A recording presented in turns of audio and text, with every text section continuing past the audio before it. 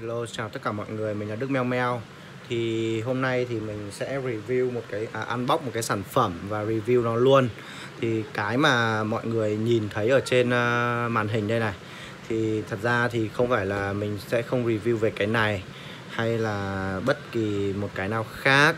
Nhưng mà để mà Mặc dù là con GoPro này mình cũng chưa làm video unbox bao giờ cả. Nhưng mà ngày hôm nay ấy, thì mình muốn unbox một cái sản phẩm khác mà mình vừa mới mua về đây thôi. Đó chính là cái uh, vỏ chống nước của con uh, GoPro Hero 8 hãng của Kingma và mình mua của Next Shop đây nhá. Tên shop đây cũng là cái mấy đây cũng là cái sản phẩm thứ ba mà mình đã sử dụng của cái Next Shop này.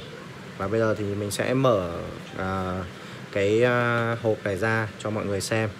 Ngày hôm nay thì tiện thể thì ngoài cái việc mà ăn bóc con này thì mình cũng sẽ nói sơ qua một chút về con GoPro và các cái phụ kiện đi kèm của nó khi mà mình mua GoPro của hãng à của Nextshop này. Ok. Giờ mở ra này. Đây là cái vỏ chống nước của con GoPro Hero 8 một cái uh, giấy uh, chắc là hướng dẫn gì đó. Toàn chữ Trung Quốc luôn.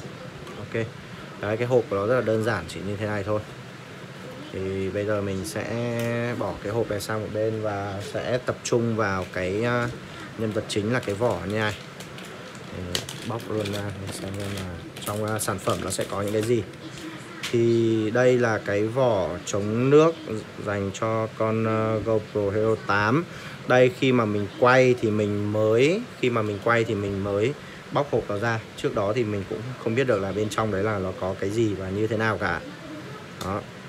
Thì uh, đây là cái hộp nguyên của nó này. Có một cái uh, ngàm ở dưới. Nói chung là sơ qua thì cái chất lượng của cái vỏ này mình thấy cũng khá là ok nhưng mà cái ngàm này cùng cả con vít này thì mình thấy nó không được tinh tế cho lắm. Không được tinh tế cho lắm giống như là cái ờ, ngàm của hàng zin. Theo của nó đây cái ngàm đây. Cùng cả con ốc dài nhìn trông nó cũng nói chung là nhìn trông nó khá là dại và trông nó khá là rẻ tiền đấy đó, trông nó khá là dại nó không được uh, đây đây là cái ngàm zin của nó này đây là ngàm zin của GoPro lúc mà mình mua máy cùng đây này. Đấy.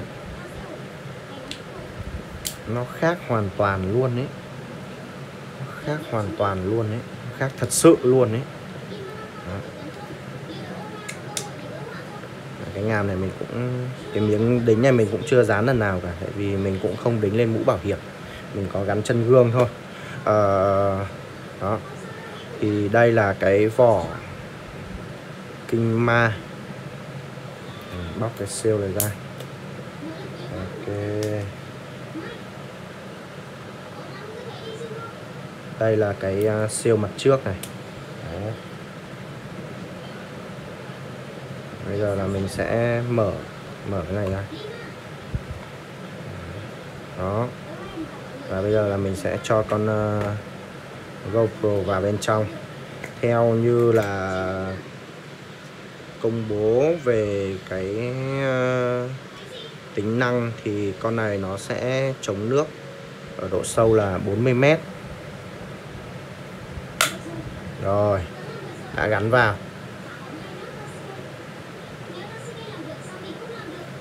Đây, cái nhựa này nói chung là rất là dày dặn đây rất là dày dặn và chắc chắn đây. Nhưng mà chắc là âm thanh thì sẽ không không nhận được đâu, tại vì nó nó kháng nước mà. Nên là con này là kín hoàn toàn luôn, nó kháng nước. Mình cũng sẽ test cái két chống nước này sau. Bây giờ mình sẽ thử bật máy lên xem xem như nào. Đó. Đấy. Cái này thì cũng chỉ có mỗi hai cái chức năng đấy là bật nguồn rồi à, để các cái nút để mình chuyển chế độ quay ấy. Và sau đó thì là mình quay thôi. Chứ còn à, lời khuyên đưa ra cho các bạn là khi mà các bạn muốn uh, quay uh, sử dụng quay như thế nào setup ra làm sao thì mình nên setup trước.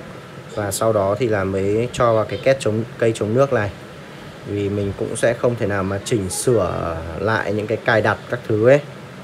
Đấy, chỉ có thể chuyển chế độ được thôi. Dụ như là chụp ảnh quay phim hoặc là chuyển sang chế độ time warp thôi. Đó time lapse. Và bấm nút quay thôi. Trông nó cũng khá là đầm khá là chắc chắn chắc tay. Cái này về chất lượng vỏ của cái này thì mình thấy nó khá là ổn.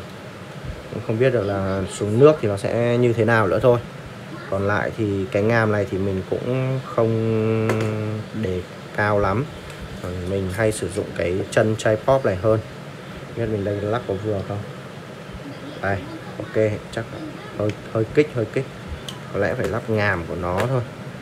Có lẽ phải lắp ngàm của nó thì mới vừa được, chứ còn cái ngàm này không vừa. Hoặc là lắp thử bằng cái ngàm này xem nó có vừa không. Cái ngàm này cũng vừa đây này. Đó.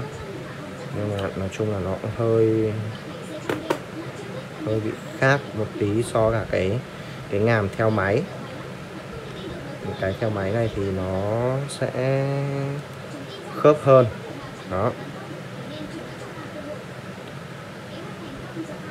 Thì có lẽ là mình sẽ phải uh, kiếm một cái uh, chân khác để còn cho nó vào cùng với cả dưới nước. Ok đấy thì nói sơ qua về cái hộp chống nước này là như thế. Còn lại thì mình cũng sẽ nói một chút về con uh, GoPro này. Thì đây cũng là lần đầu tiên mà mình uh, sử dụng cái uh, cái uh, camera hành động là của GoPro. Và khi mà mình mua thì cũng là mua cái con mà nó mới nhất là Google Hero 8 Black.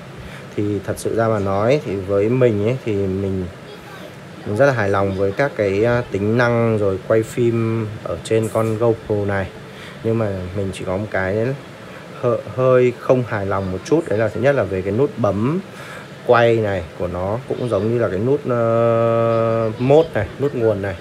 Thì nó khá là cứng khá là cứng ngoài ra nữa thì cái màn hình à, cảm ứng của nó thì các, chắc là do mọi người đang quen sử dụng cái màn hình cảm ứng trên điện thoại rồi ấy. Thế cho nên là khi mà chuyện quay sang dùng cái màn hình cảm ứng ở trên cái con GoPro Hero 8 này, thì mình thấy là nó cũng phản hồi, nó khá là chậm. Và nó không có được cái độ chính xác, nó được như là sử dụng trên điện thoại. Ờ, ok, tại vì nó là máy quay mà chứ nó không phải là thiên về điện thoại, cho nên là nó như thế.